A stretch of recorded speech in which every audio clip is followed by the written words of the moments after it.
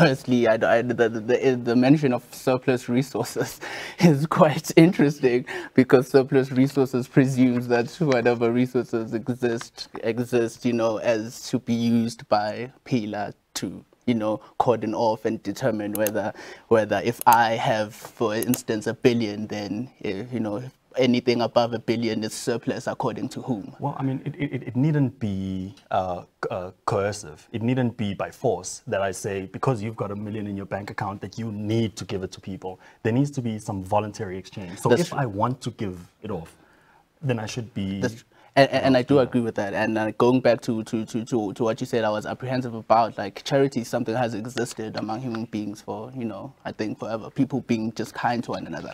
Actually, if the government did not tax people as much, I think that would see much more instances of kindness. But even like, you know, currently the organizations like Gift of the Givers, the Red Cross, you know, church, uh, religious organizations. Back to Phila's point, right? I don't think that delegating responsibility, particularly when you are in a difficult position, because I think that as a personal philosophy, right, a difficult position can either make you, you know, give you the tools to be able to solve other difficult situations in the future, or merely prolong, you know, you're being able to solve difficult situations. And I think that delegating the responsibility of feeding people to government is something that is quite scary to me because what does it say about those people? Are they unable to feed themselves? Because we do know in the world there exist people who are able to eat and be quite well fed without relying on the government. And if our solution to saying that when there are hungry people in our communities, they should look for the government to the solution, which ultimately has to go and tax someone who was productive take their things by force. You said it need, need not be by force, right? Mm. Schools, government subsidization of everything stems from taxation, and taxation is by, you know, implication, the use of force. If you don't pay your taxes, you go to jail. Mm. So the threat of force. I am all in favor of voluntary charity and voluntary acts of kindness. I think that, you know, the government taxing people to do these social services is actually eating into the ability of human beings to genuinely care about one another. I am I, I, I am I am not opposed to people helping one another out should they want to, but when the government does it, we cannot then say that it's you know a moral thing to do because it inherently stems from taking someone's stuff by force for lack of a better term. So I think that is a solution, right, to, you know, at the very least to how we get someone to appeal to the ideas that I believe in is to show them that at the very least they are the ones who control their own fate. If they want to, you know, make or make or make food or make whatever it is that can get them food, no one else at the very least will be able to get them out of that situation but themselves and their community.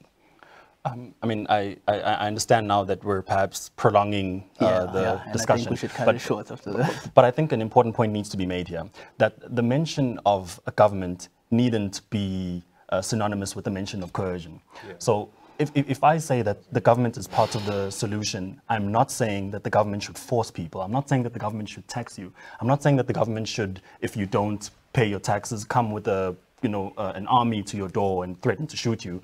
All I'm saying is that the government can put in place um, incentives uh, through tax breaks, etc., for those who want to take advantage of those tax breaks to take advantage of them. Nobody's coercing you to do that. But if there is something that is going to align with your own personal self-interest, voluntarily, then surely the government can step in to uh, enforce those. Now, I'm not saying that the government is infallible. Of course, I'm not in favor of a big government. I'm in favor of a limited government. And a, the big distinction is that I'm not in favor of no government at all, which I think is the big distinction between yeah, yeah. Uh, the position that Zakes takes and the position that I take. I don't think you can say to an individual who is starving today, who is scrab- scrambling to find their next meal, that what they need to be is productive tomorrow or else they're going to die. I think product, production should come in and it's going to come in progressively but over the long run. But there need to be solutions in the interim because we're going to risk um, a, a, population that is going to be dissatisfied with the current order and we need to find solutions to the present uh, way things are.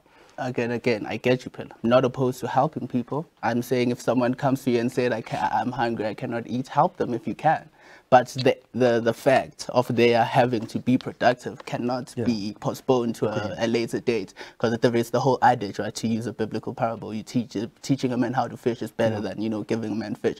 And I think that when you, you, you know, when we at the very least delegate our responsibility to our fellow human beings to the government, I don't think that we create a much more better society for that.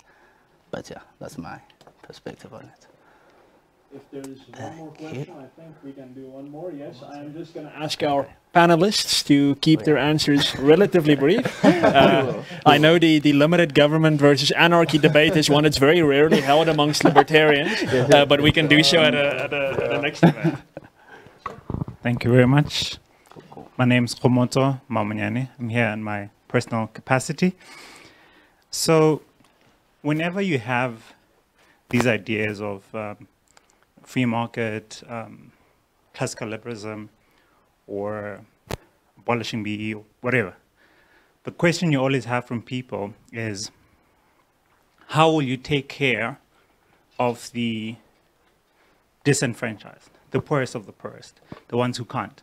Going to your point, um, Philasande, and I find it hard to make a clinical argument um, from uh, an idea such as free, free market only because you, at the end of the day, you have a problem now that you need to take care of. And how do we then convince people with pragmatic solutions today that take into considerations the problems we have while saying we need to move in this way? Thank you. Okay, okay. Uh, I can go first. Can go first. No problem. I think you know it's much more similar to what we're already touching on, really.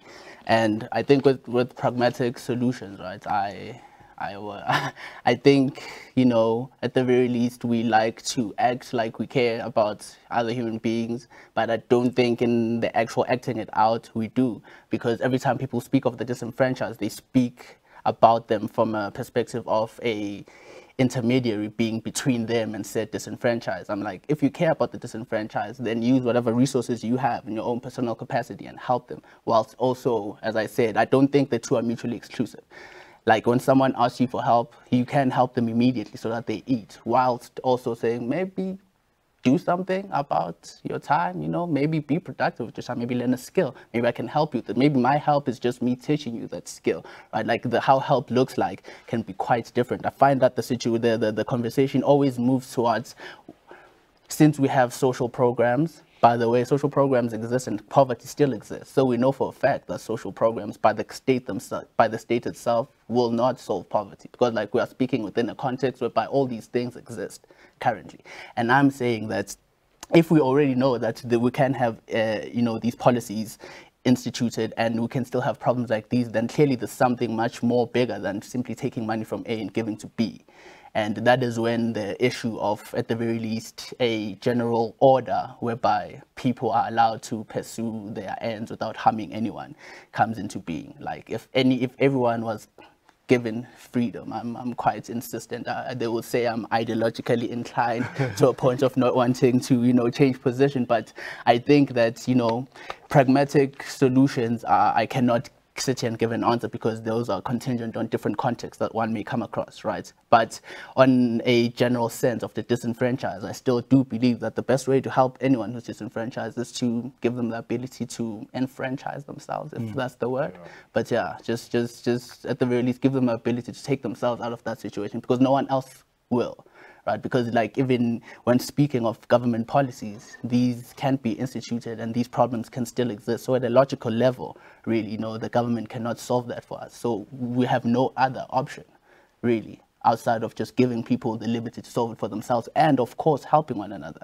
As I said, I'm a huge proponent of helping one another. I'm a huge fan of you know, religious charities. I'm a huge fan of charities in general. And my girlfriend who's here is the one who, you know, forces me to go and volunteer at times because, you know, I'd rather be reading instead of doing that. But I think that, you know,